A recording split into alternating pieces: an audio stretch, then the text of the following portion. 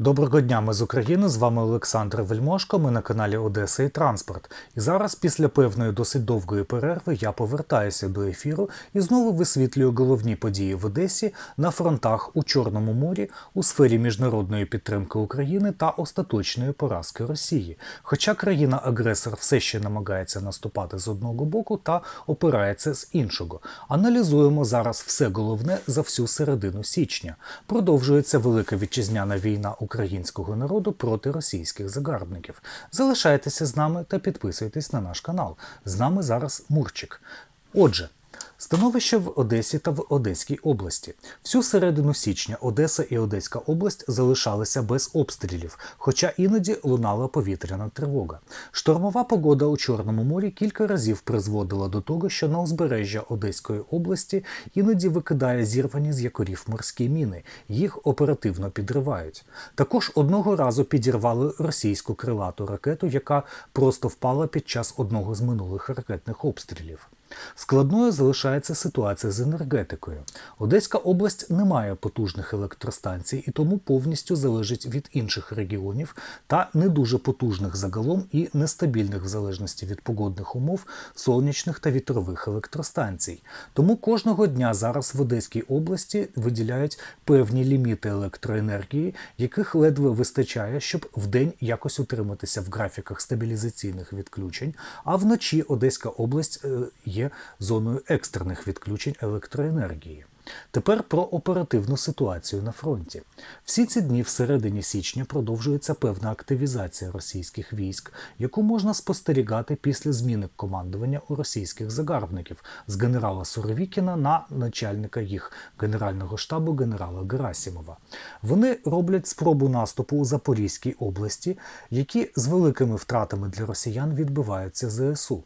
Можливо, навіть що це насправді не великий справжній наступ, а просто є його медійна імітація.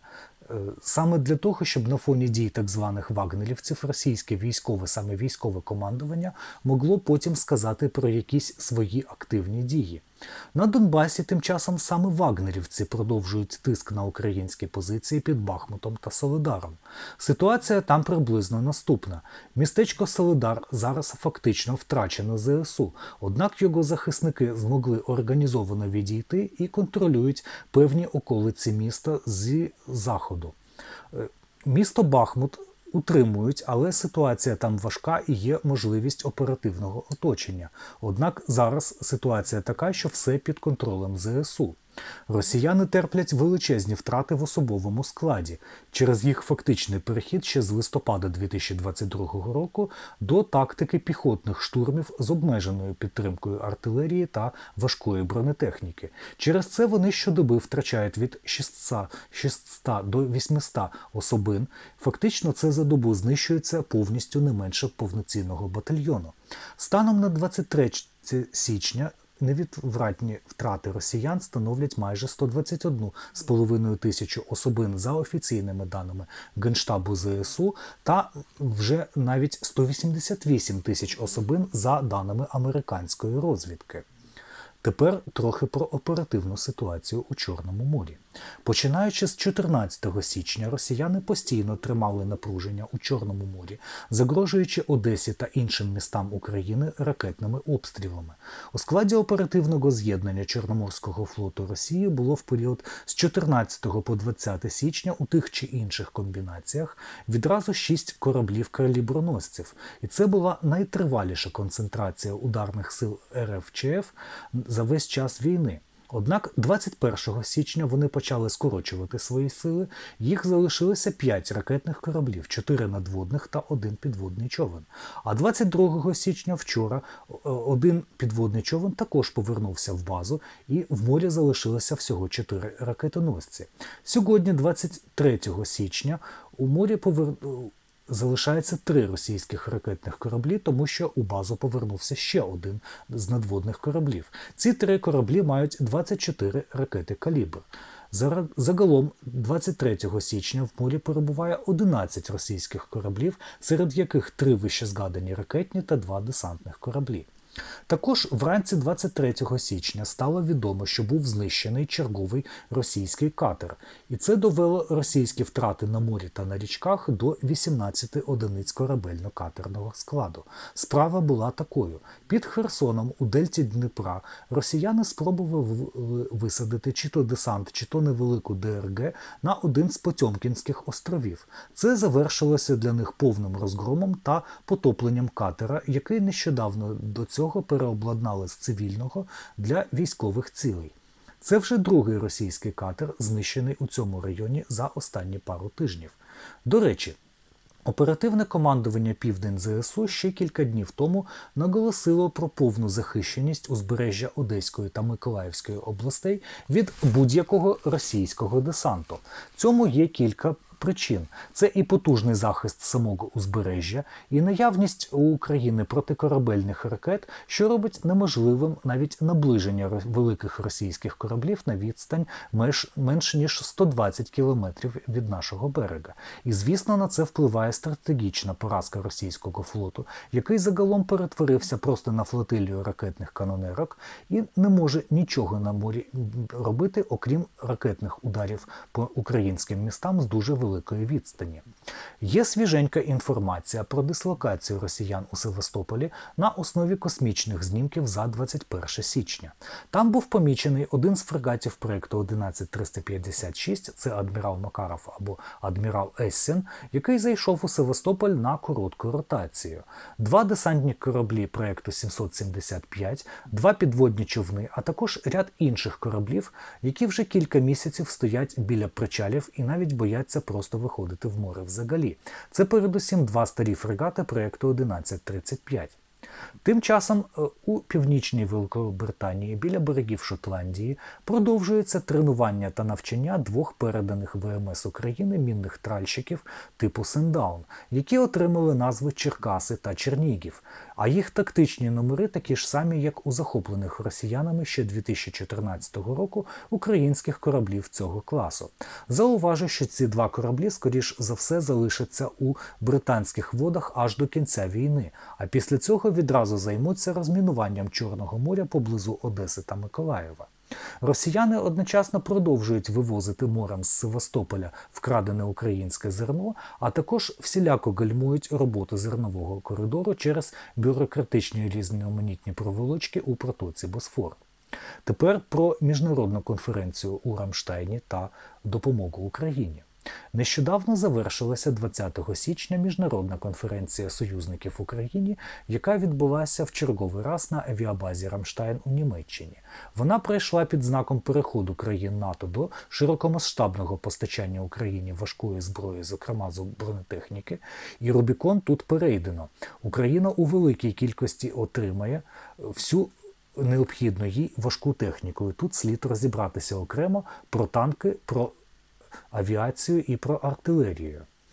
Про надання широкомасштабної допомоги Україні, окрім Сполучених Штатів, оголосили також ще Великобританія, Польща, Нідерланди, Швеція і навіть маленька Естонія. Натомість все ще вагається Німеччина. Загалом озвучені на початку року командувачем ЗСУ Валерієм Залужним цифри необхідної для перемоги України військової техніки. Вони всі або постачаються, або включені у плани постачання на найближчий час. Тепер головне танкове питання. Захід остаточно вирішив надати Україні основні бойові танки стандарту НАТО. Це можна пояснити як фактичним вичерпанням танків радянського зразку стандарту у східноєвропейських країнах Північно-Атлантичного альянсу, їм вже просто нічого постачати Україні, так і зміною загальної стратегії допомоги.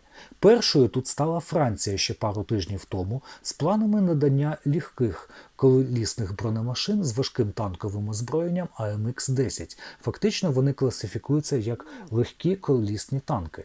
Другими стали Сполучені Штати, які загалом надають Україні 109 важких бронемашин піхоти Бредлі, які поєднують у собі систему важкого захисту основних бойових танків, можливості перевезення десанту та озброєння для боротьби з піхотою та легкою бронетехнікою. Сюди ж слід додати передачу великої партії німецьких БМП Мардер та шведських бойових машин піхоти. Польща і Великобританія стали першими державами, які готові і реально почали надавати танки стандарту НАТО. Хоча на перших порах це у дуже невеликій кількості. Всього по одній роті чи ескадрону приблизно по 12-14 машин кожна. Але слід розуміти, що це фактично означає перший крок до дійсно масових поставок у кілька сотень танків насправді. Тому що українських танкістів слід в першу чергу навчити роботі на західних танках. Це треба сформувати першу якусь певну стратегію чи тактику їх застосування. Це, скоріш за все, вже є.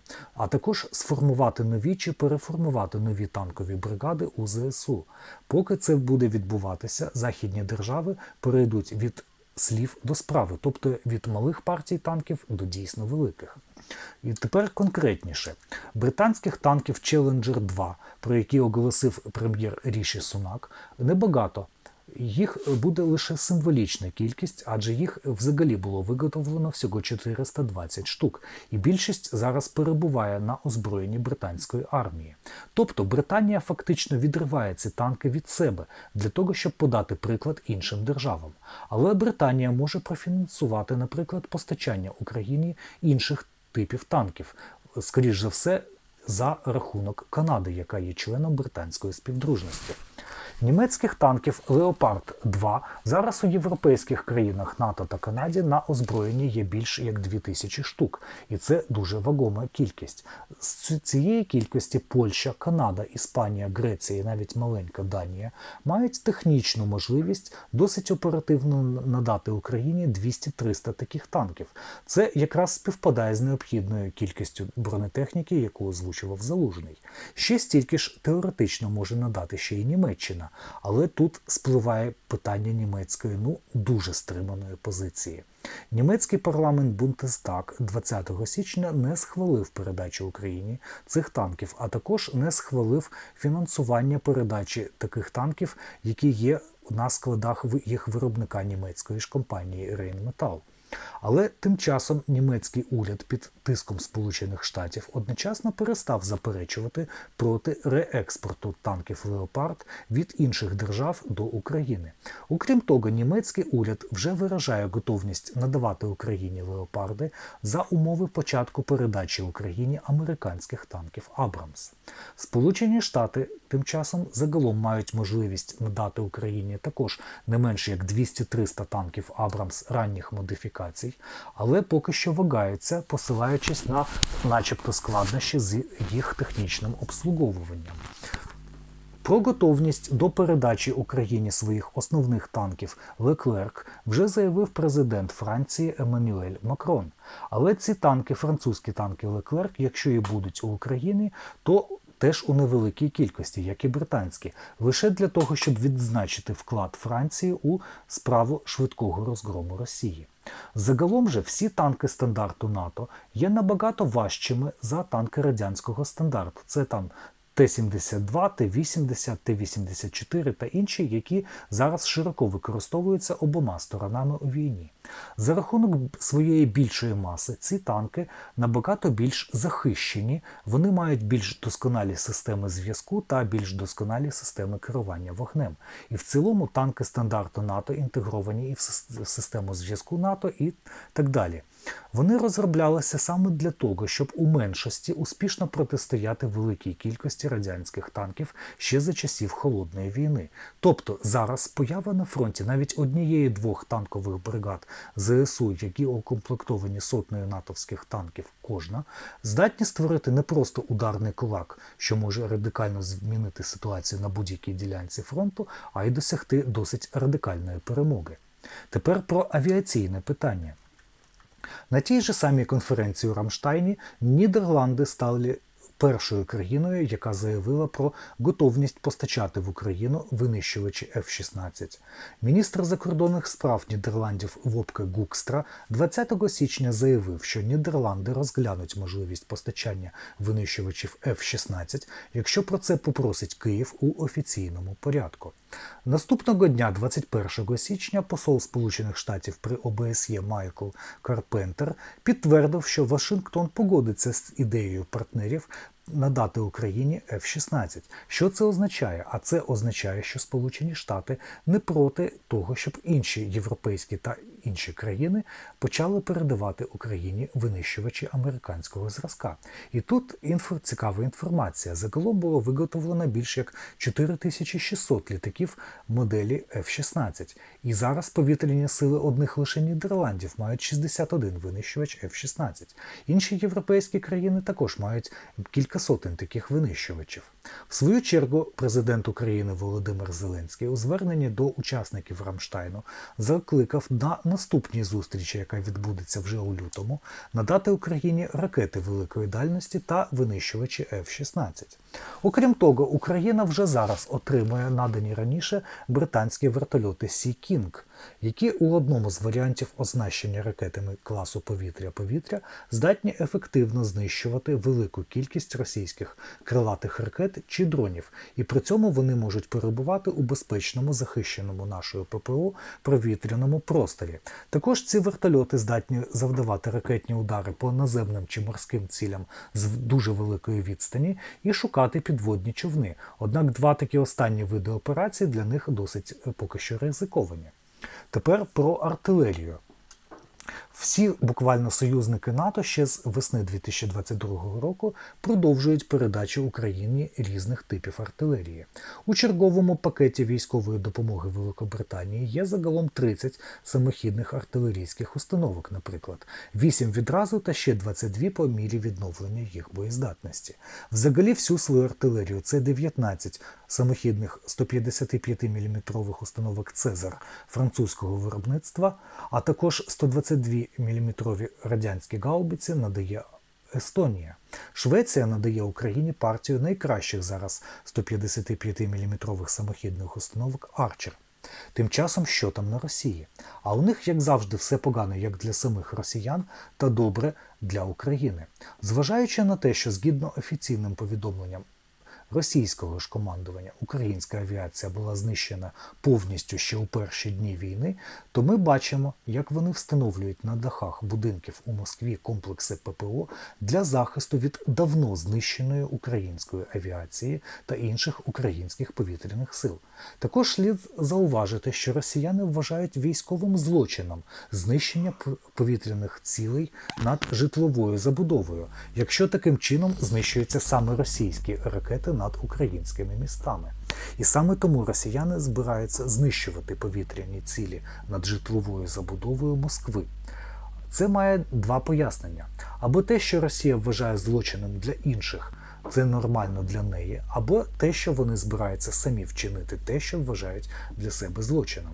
А якщо без жартів, то росіяни просто бояться ударів безпілотників, просто бояться їх до усрачки, так само як це робилося на цілому разі ряді російських авіабаз протягом грудня 2022 року. Цілий тиждень, починаючи з 14 січня, росіяни готувалися до чергового ракетного удару по Україні і так і не спромоглися його завдати. Справа у тому, що стратегічні бомбардувальники росіян у більшості перебазувалися на віддалені авіабази у Сибіру чи Заполяр'ї і зараз або не можуть просто піднятися у повітря, або не мають ракет. На Росії намагаються провести ще одну хвилю мобілізації, щоб набрати до 500 тисяч чмобіків. Але хто їх навчить? Чим їх озброїти, чим нагодувати та яку надати для підтримки бронетехніку та артилерію? Це великі питання, на які немає відповіді у самого ж російського командування. Справа у тому, що майже всі досвідчені офіцери, сержанти чи інші е, їх вже немає. Їх вони всі у чорних пластикових пакетах. Майже всіх танків, наприклад, які були на озброєнні російської армії на початку війни, теж немає, які були боєздатними до того ж. Ресурсів промисловості Росії для розгортання військового виробництва чи навіть просто відновлення техніки з резервів та консервації у них теж вже немає. Санкції працюють. На цьому фоні розгортається внутрішнє протиріччя росіян.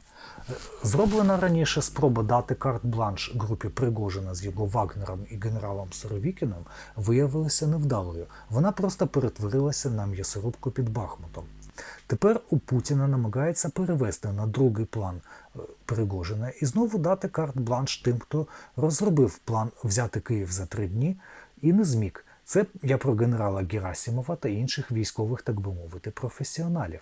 Невдача Герасімова, Шойгу та інших у Росії слід розуміти як так, що завдання перемоги над Україною Путін дав кращим з кращих, і вони не впоралися. І тепер оці кращі з кращих, які виявилися насправді гіршими з гірших, намагаються просто відтягнути свій неминучий кінець.